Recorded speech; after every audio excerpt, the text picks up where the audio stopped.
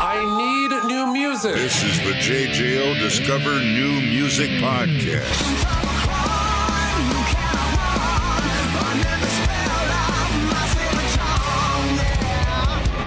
Excited joining me uh, to talk brand new music from Alter Bridge. The man with golden pipes, Myles Kennedy from Alter Bridge. Myles, how are you, man? I'm wonderful. It's great to be here with you. Brand new album uh, from Alter Bridge, Pawns and Kings. So here we are coming up on 19 years uh, of Alter Bridge, seven studio album from the band. You guys are seasoned veterans at this point. I mean, there's really nothing you have to prove. Done this multiple times over. How'd you guys find new ways to maybe challenge yourself with the new Alter Bridge and Pawns and Kings? Well, that's the million dollar question, right? At this point, um, after you've made seven records together, I mean, what do you what do you do? Um, I, I think for us, it's just a matter of you know the songs are paramount. You know as someone as a as an A&R guy once told me a long time ago he says you're not in the music business you're in the songwriting business.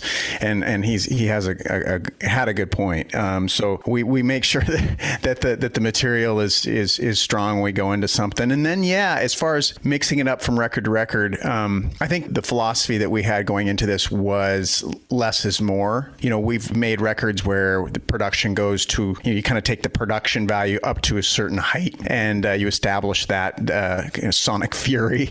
And and with this record, what we wanted to do was strip, you know, pull it back a little bit from a production standpoint. Not as many layers. Don't incorporate all of the elements of you know, as much as multi-tracking is an awesome tool, you can kind of overdo it when you get in the studio. And well, let's try this part here. Let's try this part. And before you know it, you know, it's like you've got a hundred plus tracks. Of, yeah, of layers and layers yeah. and layers on there. Yeah, exactly, exactly. So that was the that was the mo going into this was to kind of keep that keep the reins uh, pulled in a little bit. Yeah. Uh, pulling the reins back on that's like a couple of Clydesdales, respectively speaking.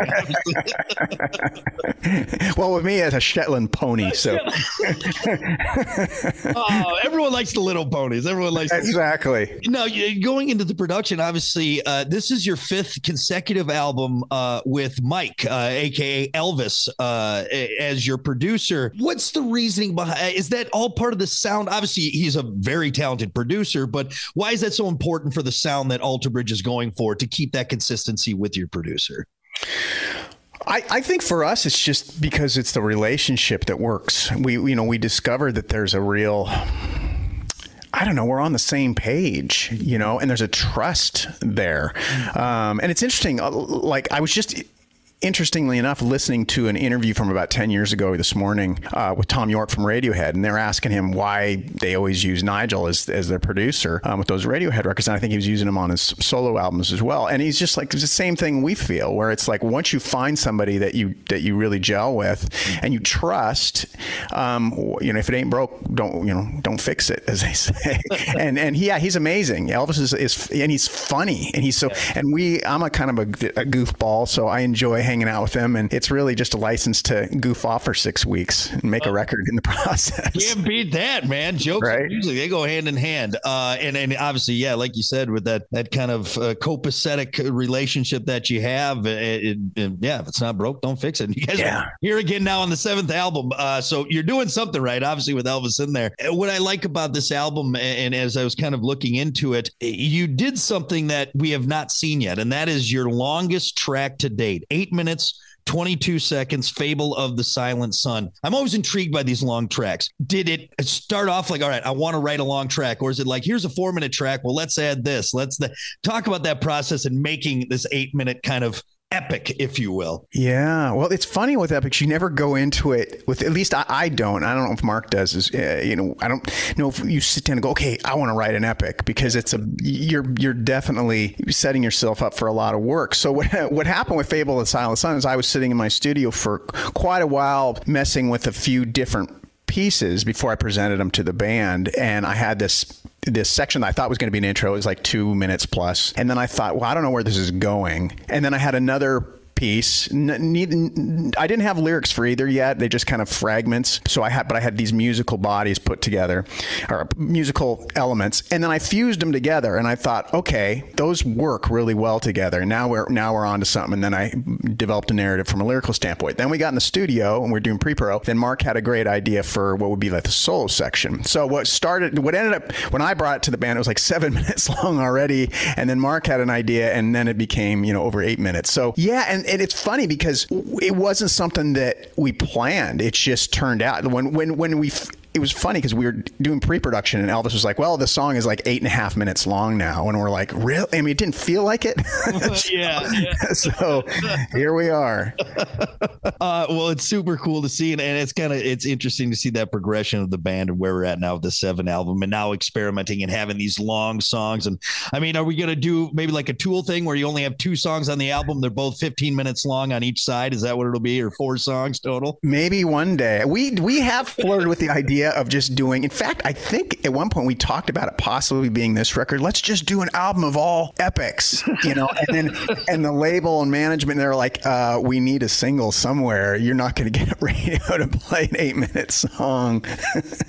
Pull the Iron Butterfly like 30 minute In-A-Gadda-Da-Vida. It'll right. It'll be fantastic. exactly. Maybe one day. One day, someday, someday. Well, we can't wait either way. Uh, do you got a favorite track on the album? So one maybe that really speaks to you? Uh, you know, probably Fable the Silent Son. I, I, think not just because of the amount of work that went into it, but from a lyrical standpoint, because it's written from the perspective of a few of us, you know, kind of looking at the it's the idea that we've been on the planet for a while now and kind of looking at life in the rearview mirror and the mistakes you've made along the way and trying to convey what you learned from those mistakes to someone younger so they don't have to go through the same hardship you did. So there's a there's a personal element there and I think it's something that our fans will, will relate to hopefully. But um, yeah I like I like that one. Uh, well again we are so excited. The brand new album Pawns and Kings the seventh studio album from Alter Bridge. And I think a lot of people people can say that, man, Myles uh, has been spoiled with guitarists. Obviously, hmm. uh, you've uh, been able to play with Slash. You still do.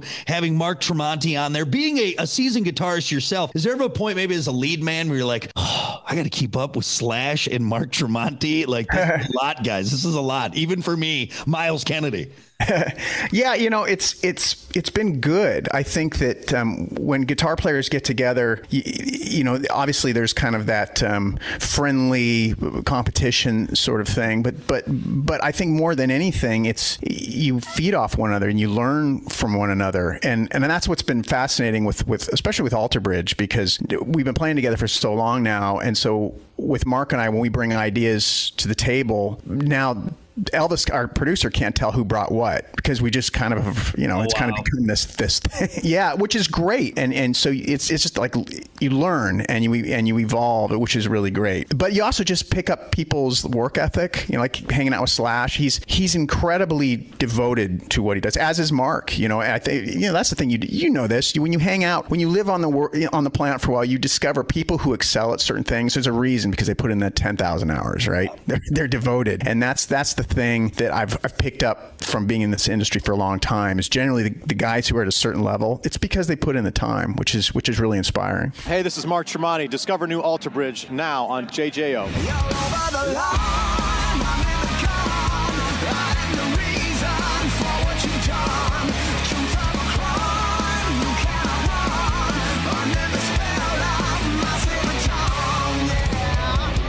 Madison Solid Rock 94.1 JJO. I'm Brock, and our guest for JJO Discover New Music is Myles Kennedy of Alter Bridge, and their new release, Pawns and Kings, is what we're highlighting this week on Discover New Music. Well, it's been fun talking new music, but I have a couple things I want to dive into that I haven't had a chance to chat with you for, uh, yet. And for people that don't know, you obviously have a long history of music, going back to playing trumpet and guitar in the high school jazz band. Your I believe it is a uh, it was a jazz fusion or an instrumental jazz fusion band. Uh, Cosmic, what was that? Cosmic Cosmic Dust. Cosmic Dust. Okay, so you got Cosmic Dust. You were also in a teen air guitar band. If that is true.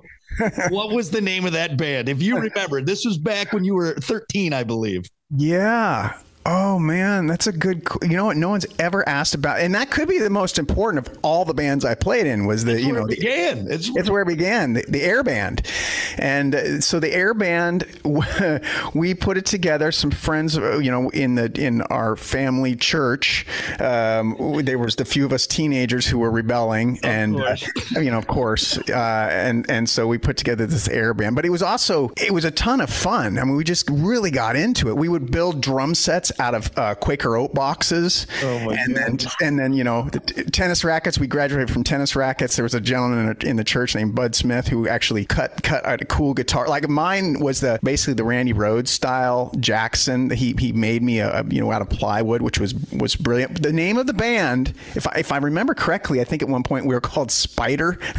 of course, right? And we we drew our own tour shirts. We bought we bought just red shirts and then would draw spider webs on the shirts with felt you know felt tip marker. You know this is the thing you do. So we were loving all this, right? And then I, we were put these shows together. And then my my stepfather one day, you know, kind of looked at me dis- just with a, a certain level of disgust and just said, "Son, why don't you learn how to play for real?" And I was like, that is genius, Dad. And uh, yeah, the rest is history. Boy, if we had tape of, of like VHS, maybe Ash, if you can find maybe in, in the family history books some VHS tapes of Spyder performing uh, these air acts my God, I want to see that. well, there are still photos floating around, which I, I, might have to find, and they they are pretty. It's it's it's pretty funny stuff. We uh, but yeah, we were kind of ostracized at one point in the church because there was a there was a there was this thing called the crop walk, which was a ten mile walk for charity. So at, at one of the parents thought it would be a great idea. Well, let's have the kids perform their air band afterwards, and we're like, uh huh, oh, yeah, it's going to be a great idea, and we we open up, we open up the little performance with "Shout at the Devil." Oh, beautiful! Of course, right? Of course, right. Then into "Screaming for Vengeance" by Judas Priest. I mean, it was all we were just like going for it, and we cleared the room out. It was oh, it was so much fun. Bunch of old ladies having heart attacks, thinking, "Oh, totally, totally." But to be fair, "Shout at the Devil" is, I guess, it could be considered a religious song, maybe. Yeah, not like it's not shout with the devil; yeah. it's shout at the devil. Yeah. Oh, so, oh my god. Um, uh, well, thank you for sharing that, and and I can't wait to uh, see the old Spyder concert tease. I think that's what we need to bring up. Uh, one more final question as we take this walk down memory lane. I know it's been quite some time since maybe you've done this or even thought about it, but do you still have the costume from the movie Rockstar? And so, do you ever belt out some Steel Dragon from time to time? I don't have the costume, and I regret it because at the last day of the shoot, somebody said that I could I could have purchased it yeah. for I think a very not a lot of money, and I was just like, no, I don't ever want to see that outfit. and but now I had no idea. In in retrospect, I didn't know that 20 years later we'd still be talking about that that film. Yeah. I certainly didn't think I'd still be in the in the music industry after 20 years. But but uh, but yeah, so the, it was a lot of fun. Uh, do I do stand up and shout every once in a while if I'm if I'm feeling it? You know, I'm good warmed up and and I'm the, I'm feeling the crowd. I might just you know stand up and shout and the crowd. oh my god, I love it.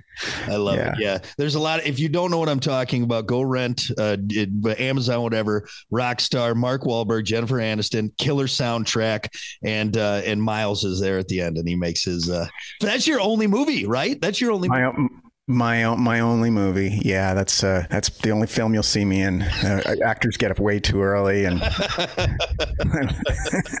well, I'm glad you're in that. and You made that cameo because now we can sit here and talk about it. Now, if you got time, could we do rapid fire, and then I'll get you on your way. Again, Absolutely. everyone, uh, uh, Myles Kennedy of Alter Bridge. We've been having fun talking about the new record, Pawns and Kings. Uh, no wrong answers on this, Myles. You just go okay. what's in your heart, and uh, we're going to learn a little more about you. All right, first thing, more guitar, more drums, or more bass in your monitor? Uh, more guitar. I like it. I figured that from you. Yeah, yeah. Uh, cool Ranch or nacho cheese Doritos? Oh, Cool Ranch, all the way. I was a little worried when I asked that question. I feel like I, I, some friendships could be ruined with the wrong answer on that one because Cool Ranch is the right answer. So good. Foot or El Chupacabra. Now you're a Washington State guy, so you probably maybe have even seen Bigfoot. I am wearing my uh, oh, Wood Booger Bigfoot hat right now. I just noticed that. Yes. I did, we didn't plan this at all, folks. That is that is completely serendipitous, right? Or El Chupacabra. I'm Bigfoot. I'm yeah. from the Pacific Northwest. Yeah. Uh, have you ever felt like you've come close to maybe seeing the elusive Bigfoot? I, you know, lived in the woods for a while as a kid uh, in a little trailer home way out in the woods, and uh, I, I'm, I, I don't know if it was Bigfoot that I saw, but I, I definitely saw something spooky. Something out there, that weird neighbor. That's what it was. Right. Uh, all right, you have to fight one, and I know you're a lover, not a fighter, but if you had to fight one, the entire cast of the Golden Girls, circa 1988, with those little souvenir baseball bats, or right the entire cast of the Little Rascals with prison shanks.